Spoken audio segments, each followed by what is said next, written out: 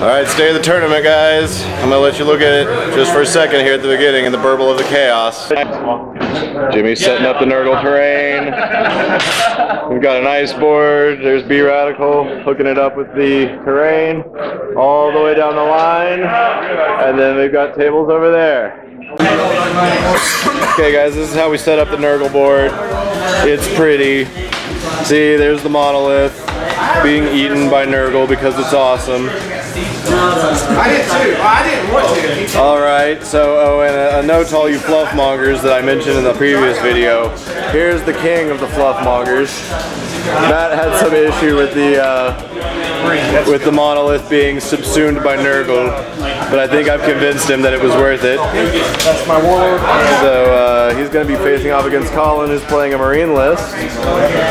As you can see, he's got some Smurfs, and they're going to be facing off against Matt's Necrons. So uh, hopefully this will be a well-fought battle.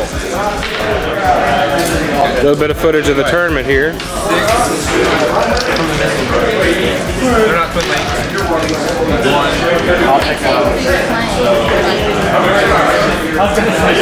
This is Zeke and Chris Williams playing on the new Nurgle board. Got some Tau versus Space Wolves.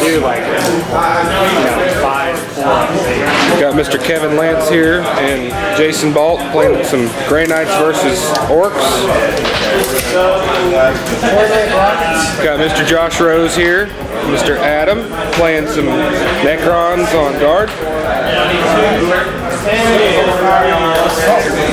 Got Mr. Victor, who you know, playing David. Tau on Tau action. We got the newcomer, Mr. Colin here.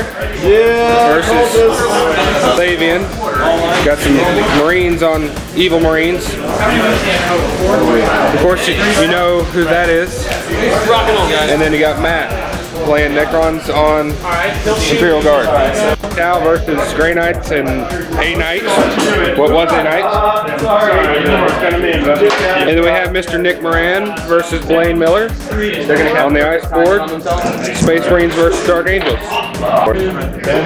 Forests and rocks. And a Sky Shield landing pad that doesn't work. So that's a pretty table. There's a defiled Aquila over there. That's the best kind of Aquila, of course, because we Station Alpha. Dun dun dun. Really? Hot Tau on Space Marine action. All right. Andrew, can I pan over and show the gamers at home who you are? Sure. This is Andrew. Hi. Say hi to the gamers. And uh, I don't remember this jerk's name. Thanks. Yeah, yeah, uh, okay. Of course, that's a Mega Warlord. Everyone loves a Mega Warlord. All right, so yeah, Ice Station Alpha. It looks like the Smurfs exploded. Oh wait. But we like this board sometimes. I gotta do inside moves. All right. Okay. Here's the 40k equivalent of what's left of Fallujah. They're in the desert and everything's blown up. Yay, desert board. Okay, I missed this the first time we looked at this table, guys. Skull hammer! Wah, wah, wah! And over there, bam, skull hammer! Yep, just like that game Mario. No, no, they copied it from me. Super Hammer Brothers. Yeah. Orcs, orcs, orcs. Not to cheer against the Tau, but I mean, come on. It's Tau. But they are pretty. They're a rare version of redfish. I'm sure they would go for good money at the Japanese fish market. Look at all those great models. All right, good stuff. And then a big river in the middle. Is the river dangerous or difficult? Dangerous. It is dangerous. It should be. It's probably got ice chunks though float through it. Yeah.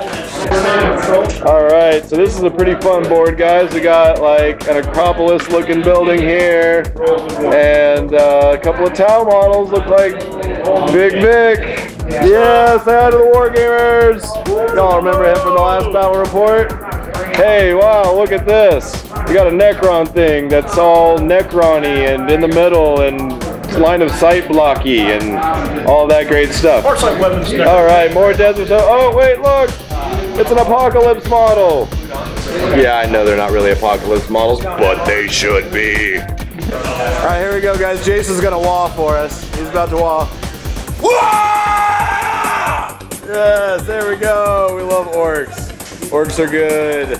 Now they're gonna run over here and beat the face off of these uh, Alright, these fish folk.